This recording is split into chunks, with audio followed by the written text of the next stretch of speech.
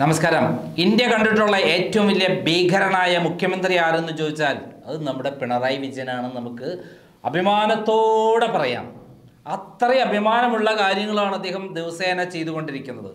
അവസാനത്തെ മാസപ്പടി വിവാദമടക്കം വന്നപ്പോഴും അതൊന്നും എന്റെ മോൾ ചെയ്തിട്ടില്ല ഞാനും ചെയ്തിട്ടില്ല എന്നാണ് അദ്ദേഹം പറഞ്ഞത്. എന്നാൽ കഴിഞ്ഞ ഏഴ് വർഷം കൊണ്ട് നൂറ്റി എഴുപത്തഞ്ച് കോടി രൂപയാണ് കരിമണൽ കർത്തയിൽ നിന്ന് അദ്ദേഹം വാങ്ങിയത്. അതെല്ലാം ഓരോ മാസവും കിട്ട അവിടെ കൃത്യമായി കൊടുക്കേണ്ട എന്ത് ഓരോ മാസവും ഓരോ കൊല്ലവും അവിടെ അദ്ദേഹത്തിന് അവിടെ കരിമണൽ എത്തിച്ചു കൊടുത്തതിന്റെ ചുങ്കമാണ് കൃത്യമായി കരം അടയ്ക്കാന്നൊക്കെ പറയില്ല? അതുപോലെയാണ് കൃത്യമായി അദ്ദേഹത്തിന് കരിമണൽ കിട്ടുന്നതിന് വേണ്ടി പിണറായി വിജയന് കൊടുത്തിട്ടുള്ളത്.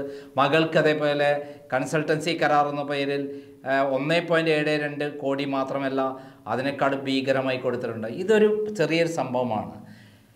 എന്നാൽ ഇതിനേക്കാളൊക്കെ ഭീകരമായ സംഭവങ്ങളാണ് പിണറായി വിജയൻ നടത്തിയിട്ടുള്ളത്. ഏകദേശം ഇരുപത്തയ്യായിരം കോടി രൂപയുടെ കള്ളപ്പണ ഇടപാടിന്റെ എല്ലാ രേഖകളും കൃത്യമായി കൈവശമുള്ള ഒരാൾ ഇന്ന് ഈ ജീവിച്ചിരിപ്പുണ്ട്. പിണറായി വിജയന്റെ വലങ്കയ്യായിരുന്നു. പിണറായി വിജയൻ അവർക്കൊണ്ട് എല്ലാ കാര്യങ്ങളും ചെയ്യിച്ചിരുന്നു. പിണറായി വിജയൻ അവർക്ക് ഗവൺമെന്റ് സർവീസിൽ ജോലി കൊടുത്തിരുന്നു.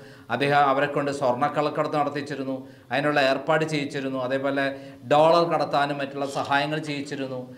മാത്രമല്ല വിദേശത്ത് ആളുകളെ കാണാനും വിദേശത്ത് പോയി ഭരണാധികാരികളെയും അതേപോലെ കുത്തക മുതലാളിമാരെയൊക്കെ കാണാനും സംസാരിക്കാനുമുള്ള എല്ലാ ഭാഷ അറിയുന്ന ഒരാളായിരുന്നു. ഡിപ്ലോമാറ്റായി പ്രവർത്തിക്കാൻ കഴിവുള്ളായിരുന്നു അവരാണ് സ്വപ്ന സുരേഷ്.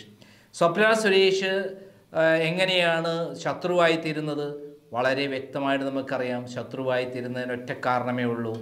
നയതന്ത്ര ബാഗേജിലൂടെ സ്വർണക്കള്ളക്കടത്ത് പിടിച്ചപ്പോൾ സ്വപ്നയെ മാത്രം പ്രതിയാക്കിക്കൊണ്ട് യഥാ പിണറായി വിജയനും പിണറായി വിജയനും കുടുംബവും രക്ഷപ്പെട്ടു. ജയിലിൽ വെച്ച് സ്വപ്നയെ കൊന്നുകളഞ്ഞാൽ പിന്നെ സ്വപ്ന ജീവനോടെ ഉണ്ടാവാതിരുന്നാൽ യാതൊന്നും പുറത്തു വരില്ല എന്നുള്ളതായിരുന്നു പിണറായി വിജയന്റെ കാൽക്കുലേഷൻ എന്നാൽ അത് പൊളിച്ചത് ക്രൈമാണ് അത് പൊളിച്ചത് ക്രൈം ആ വാർത്ത പുറത്തുവിട്ടു. കസ്റ്റംസ് ഉദ്യോഗസ്ഥന്മാർ ക്രൈമിന് ചോർത്തി തന്നു. അത് വാർത്ത വലിയ വാർത്തയായി വന്നതോടുകൂടി പിണറായി വിജയൻ ജയിലിൽ വെച്ച് കൊല്ലപ്പെടുത്തി കൊലപ്പെടുത്തിയാൽ അതിന് ഉത്തരവാദിത്തം പിണറായി വിജയന് വന്നു ചേരുമെന്ന് മനസ്സിലാക്കിയോടെ അദ്ദേഹം അതിന് പിന്തിരിഞ്ഞു. ഇങ്ങനെ അദ്ദേഹം ജയിലിൽ നിന്ന് ഇറങ്ങിയ ശേഷവും സ്വപ്ന യാതൊരു കുഴപ്പത്തിനും പോയിരുന്നില്ല. എന്നാൽ പിണറായി വിജയന്റെ സകല രഹസ്യങ്ങളും അദ്ദേഹത്തിന് അവർക്കറിയാമായിരുന്നു. ഇതുവരെ പുറത്തു വരാത്ത ആ രഹസ്യവും. എന്നാൽ ഈ അടുത്ത കാലത്ത് ശിവശങ്കർ അവർക്കെതിരെ ഒരു പുസ്തകം എഴുതി അതോടുകൂടി ഒരു പെൺ ഒരു പെണ്ണിന്റെ ശൗര്യം പുറത്തെടുത്തു. സ്നേഹിച്ച് പ്രണയിച്ച് തന്നെ വഞ്ചിച്ച തട്ടിപ്പ് തട്ടിപ്പുകാരനാണ് ശിവശങ്കർ. പിണറായി വിജയന്റെ കുഴലൂത്തുകാരനാണ് ശിവശങ്കർ എന്ന് മനസ്സിലായതോടെ സ്വപ്ന ആഞ്ഞടിക്കാൻ തുടങ്ങി. എന്നാൽ ഇതുവരെ പറഞ്ഞ കാര്യങ്ങളെല്ലാം ചെറിയ കാര്യങ്ങളാണ്. സ്വർണക്കള്ളക്കടത്ത് നടത്തിയിട്ടുണ്ട്. ലൈഫ് മിഷൻ പദ്ധതിയിൽ തട്ടിപ്പ് നടത്തിയിട്ടുണ്ട്. എ ഐ ക്യാമറ വിഭാഗം നടത്തിയിട്ടുണ്ട്. കേരയിൽ പദ്ധതി നടത്തിയിട്ടുണ്ട്. ഇതിലെല്ലാം തന്നെ പിണറായി വിജയൻ തട്ടിപ്പ് നടത്തിയിട്ടുണ്ടെന്ന് കൃത്യമായി അറിയുന്ന ആൾ സ്വപ്നയാണ്. ഇതിനേക്കാളൊക്കെ ഭീകരമായ ചില രഹസ്യങ്ങൾ പിണറായി വിജയനെക്കുറിച്ചും മകളെക്കുറിച്ചും മകനെക്കുറിച്ചും സ്വപ്നയുടെ കൈവശമുണ്ട്. ഇതുവരെ പുറത്തുവിടാത്ത ഇതുവരെ വൺ സിക്സ്റ്റി ഫോർ സ്റ്റേറ്റ്മെന്റിലോ മറ്റുള്ള സ്ഥലങ്ങളിലോ കൊടുക്കാത്ത വളരെ ഞെട്ടിക്കുന്ന വളരെ ഗുരുതരമായ പിണറായി വിജയനും കുടുംബം നിമിഷ നേരങ്ങൾക്കുള്ളിൽ അറസ്റ്റിലാകുന്ന വളരെ ഗൗരവമായ ചില രേഖകൾ സ്വപ്നയുടെ കൈവശമുണ്ട്. ക്രൈമിന്റെ കൈവശം കിട്ടിയിരുന്നു. ഇരുപത്തയ്യായിരം കോടി രൂപയുടെ അവരുടെ അന പിണറായി വിജയൻ അനധികൃത സമ്പാദ്യത്തിന്റെ ഞെട്ടിക്കുന്ന രേഖകളാണ് കിട്ടിയത്. വിദേശത്ത് മലയാ ബിസിനസ്സുകാരായ മലയാളികളുടെ വലിയ പ്രോജക്റ്റുകളിലാണ് പിണറായി വിജയൻ നിക്ഷേപിച്ചിട്ടുള്ളത്. അതേപോലെ രഹസ്യമായി അദ്ദേഹത്തിന്റെ മകൻ മുഖാന്തരം പല ബാങ്കുകളിലാണ് നിക്ഷേപിച്ചിട്ടുള്ളത്. അമേരിക്കയിലടക്കം ബ്രിട്ടനിലടക്കം പല വിദേശ രാഷ്ട്രങ്ങളിലും മകളുടെ സഹായത്തെ ഐ ടി മേഖലയിലാണ് നിക്ഷേപങ്ങൾ നടത്തിയിട്ടുള്ളത്. ഇതോടൊപ്പം തന്നെ ഏറ്റവും പ്രധാനപ്പെട്ട കാര്യം ഫാരിസ് അബൂബക്കർ മുഖാന്തരമുള്ള നിക്ഷേപങ്ങളാണ്. ഈ വിധത്തിലുള്ള നിക്ഷേപങ്ങളുടെ മാത്രമല്ല അതിലുപരിയായുള്ള വലിയ വലിയ ഒരു സംഭവത്തിന്റെ എല്ലാ രേഖകളും സ്വപ്നയുടെ കൈവശമുണ്ട്. സ്വപ്ന അതൊന്ന് പുറത്ത് വിട്ടാൽ ഇവിടെ ഭൂകമ്പമുണ്ടാകും. പിണറായി വിജയനും മകളും മകനും അറസ്റ്റിലാകും ഭാര്യയും അറസ്റ്റിലാകും. പിന്നെ പിടിച്ചു നിൽക്കാൻ അവർക്ക് കഴിയുകയില്ല അത്രയും സുവ്യക്തമായ രേഖകളാണ് സ്വപ്നയുടെ കൈവശമുള്ളത്. ഈ കാര്യങ്ങൾ കിട്ടാൻ വേണ്ടി അമിത്ഷാ പ്രമുഖ ഒരു ബി ബി ജെ പി നേതാവുമായി സ്വപ്നയെ ബന്ധപ്പെട്ട ബി ജെ പി നേതാവുമായി കൃത്യമായ ബന്ധങ്ങൾ പുലർത്തിക്കൊണ്ടിരിക്കുകയാണ്. ഇതുകൊണ്ട് തന്നെ ബി സ്വപ്നയ്ക്ക് വലിയ സംരക്ഷണം ബാംഗ്ലൂരിലടക്കം ബി ബി ജെ പി ഏർപ്പെടുത്തിയിട്ടുണ്ട്. കേന്ദ്ര ഗവൺമെന്റ് അതിനുള്ള ഏർപ്പാടുകൾ ചെയ്തിട്ടുണ്ട്. ഈ രേഖ കിട്ടുന്നതോടുകൂടി കേരളത്തിൽ നിന്നല്ല ഇന്ത്യയിൽ തന്നെ സി പി എം ഇല്ലാതാവും. പിണറായി വിജയനൊക്കെ ജയിലിൽ നിന്ന് പുറത്തിറങ്ങിയില്ല. ജയില പിണറായി വിജയന്റെ ഭാര്യയോ മകളോ മകനോ ഇറങ്ങില്ല. ഇവരെല്ലാവരും കൂടിയുള്ള ഒരു കൂട്ട് കച്ചവടമാണ് തട്ടിപ്പാണ് വളരെ വ്യക്തമായ രേഖയാണ് അതിന്റെ വീഡിയോസാണ് സ്വപ്നയുടെ കൈവശമുള്ളത് ക്രൈമിന് കിട്ടിയ രേഖകളെക്കടക്കെ പതിന്മടങ്ങി ശക്തിയുള്ള ആ രേഖകളേട്ടം പുറത്തുവിട്ടാൽ പിന്നെ പിണറായി വിജയൻ എന്ന് പറയുന്ന സംഭവം ഇല്ല സി പി എമ്മും ഇല്ല എന്നുള്ളതാണ് സത്യം. ഇത് കൃത്യമായി മനസ്സിലാക്കി പിണറായി വിജയൻ ഇന്നേ വരെ സ്വപ്നയ്ക്കെതിരെ കമാന്ന് രക്ഷണം വേണ്ടിയിട്ടുണ്ടോ? യൂസഫ് അലി എന്തെങ്കിലും പറഞ്ഞിട്ടുണ്ടോ? യൂസഫ് അലി പിണറായി വിജയന്റെ ബിനാമിയാണെന്ന് പച്ചയായി പറഞ്ഞില്ലേ? രവി പിള്ള രവി പിള്ള സ്വപ്ന പിണറായിയുടെ ബിനാമിയാണെന്ന് പച്ചയായി പറഞ്ഞില്ലേ? പിണറായി വിജയന്റെ മകളും മകനും വേണ്ടിയിട്ടാണ് പിണറായി വിജയൻ സമ്പാദിക്കുന്നത് വിദേശത്താണ് ഇടപാടുകളെന്ന് കൃത്യമായി സ്വപ്ന വിളിച്ച് പറഞ്ഞില്ലേ? എന്തേ പിണറായി വിജയൻ മിണ്ടാത്തത്? മിണ്ടില്ല. മിണ്ടിക്കഴിഞ്ഞാൽ പിറ്റേ നിമിഷം കുറഞ്ഞ സമയത്തിനുള്ളിൽ ഈ രേഖകൾ പുറത്തു വരും.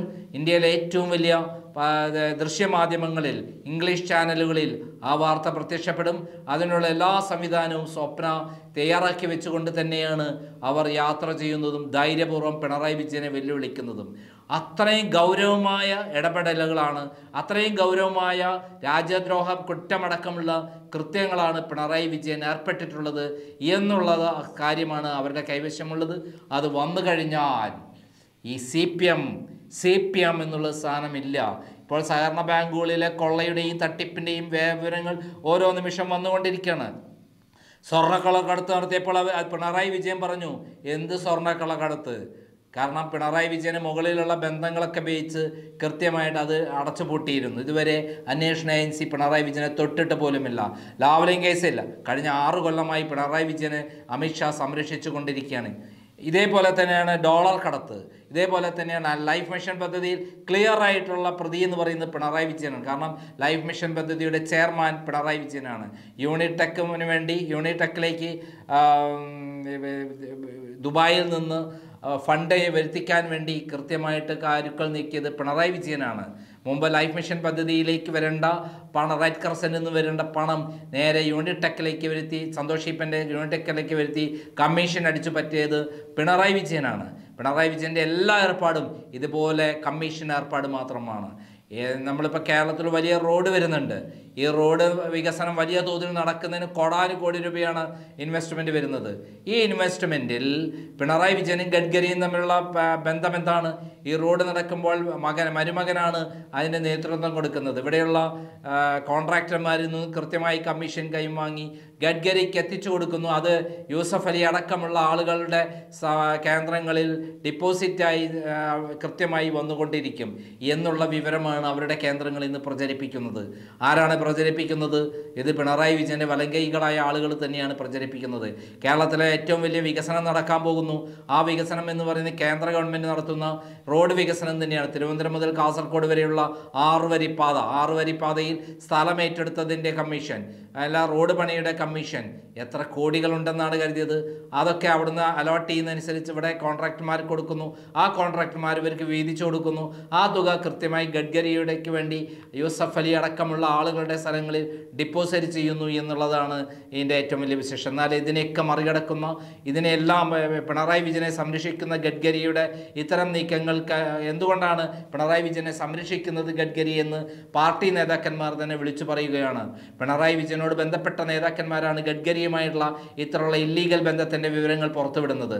ഇതെല്ലാം ശരിയാണെന്ന് ധരിക്കുന്ന രൂപത്തിലാണ് പിണറായി വിജയനെ ലാവലിംഗ് കേസ് സംരക്ഷിക്കുന്നതും സ്വർണക്കള്ളക്കടത്തിൽ സംരക്ഷിക്കുന്നതും ഡോളർ കടത്തിൽ സംരക്ഷിക്കുന്നതും എ ഐ ക്യാമറയിലും എ കെ ഫോണിലും കേരയിലും അതേപോലെ മറ്റു തട്ടിപ്പുകളിലെല്ലാം തന്നെ സംരക്ഷിച്ചു നിർത്തി. എന്തിന്?